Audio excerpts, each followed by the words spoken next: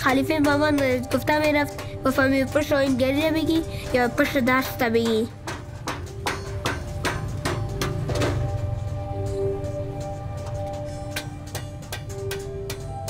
او هم نکده قیاد نداره.